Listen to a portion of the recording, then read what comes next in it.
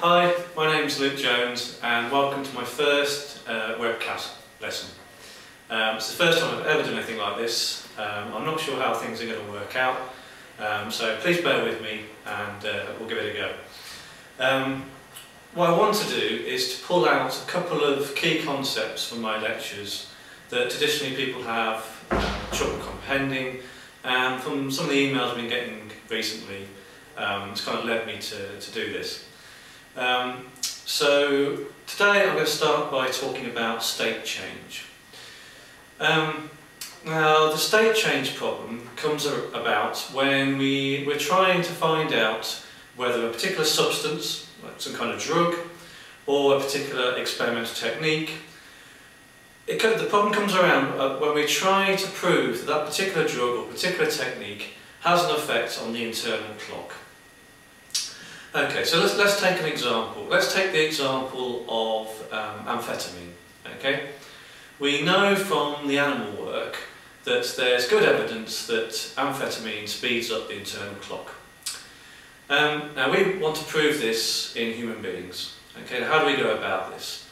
Well, here's a simple idea, or a simple, naive way of going about it, and this should highlight what the problem is. Okay, so let's let's imagine we have two different um, situations. Okay, so we have the person's behaviour when they're on the drug. Okay, so when they're on amphetamine, and the no drug when they're not on the drug.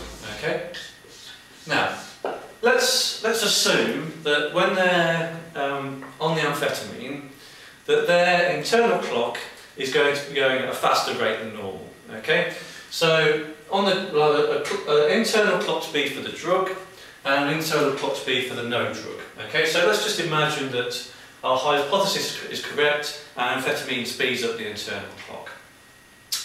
Okay, so in the no drug condition, let's assume, it doesn't really matter what the numbers are, but let's just assume that um, for every millisecond, okay, for every millisecond, we get one tick of our internal clock. Okay? And under the drug, we're assuming that the clock is running faster. Okay, so in this condition, we assume that for every millisecond, we're going to have two ticks of the internal clock. Okay, so this, eh, under the drug, the internal clock is going twice as fast. Okay, so what we're going to do, in our naive experiment, we're going to test this person off the drug, and we're going to test the person on the drug. Okay, so we'll give them a really simple task. Simplest task we can come up with we use pair comparison. Okay? Now, in a pair comparison task, all that happens is we give the person one tone. Please listen to this tone. So, say this tone is 800 milliseconds long. And we give them a second tone. So, say this one is 400 milliseconds long. And we simply ask the person, please listen to these two tones. Please tell me which one is longer. Please tell me how much longer you think it is. Okay? So let's work through what would happen if we did this with a person in our no-drug state. Okay? Well, we know that their internal clock is ticking at one tick per millisecond. Okay? So I play this tone to this person off when they're off the drug, and so for an 800 millisecond tone, they will accumulate, obviously, 800 ticks. I play them the 400 millisecond tone, obviously again, they're going to accumulate 400 ticks, okay? So remember, the output of the internal clock, the amount of ticks they accumulate during this period, that is their subjective impression of how long it lasted for, okay? So this person, when I ask this person which of these two tones is longer, then they're obviously going to know this one, this one is longer than this one. Then, this is the important bit, if I ask them how much longer, then they're going to say, well, it's about twice as long. Okay, so that's, that would be the scenario when they're off the drug. Let's have a look at what happens now we now we put them on amphetamine. Okay, so their internal clock is running faster, and we rerun the experiment.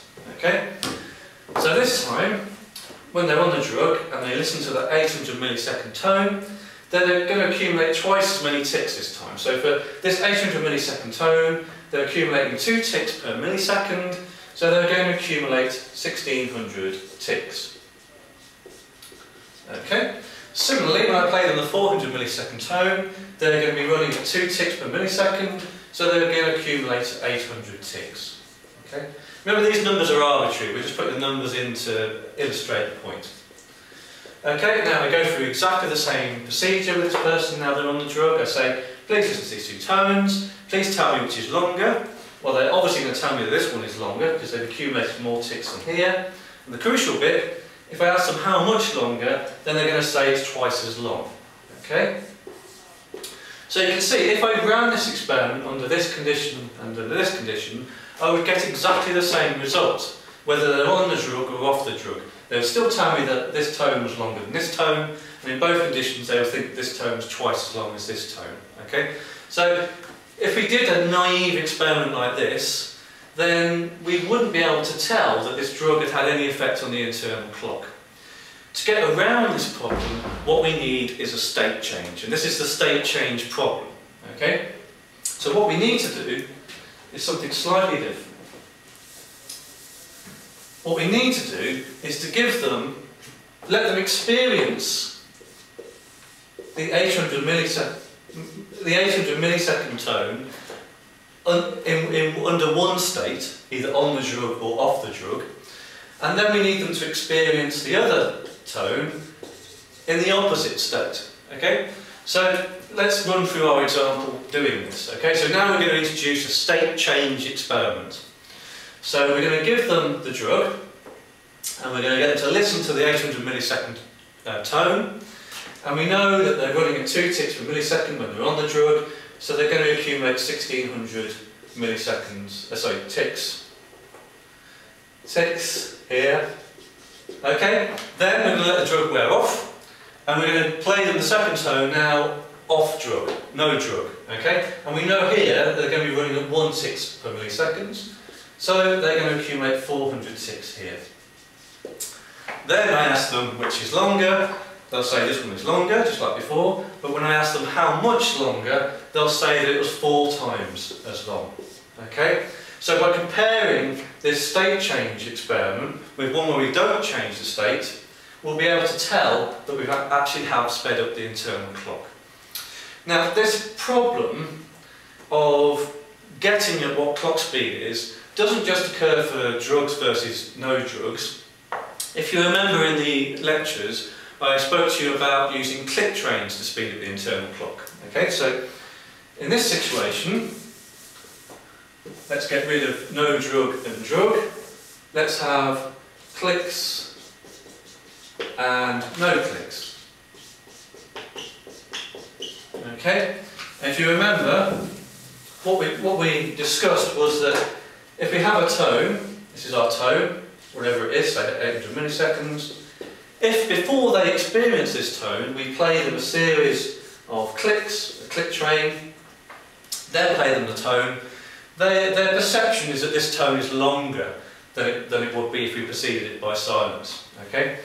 Um, and we know that this, this is a slope effect, which is something I'm going to talk about in a future webcast.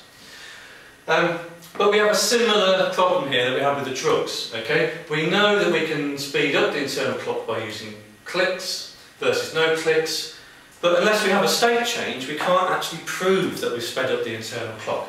So we have to do exactly the same thing. And this is exactly what we do do. If you go back and look at when I discussed about clicks and I discussed um, the uh, experiment by Penton-Voak et al. 96, it's very readable paper, go away and read it, it's on Blackboard. Um, this is exactly what they did. They, they used clicks and they used a state change um, experiment, a state change design.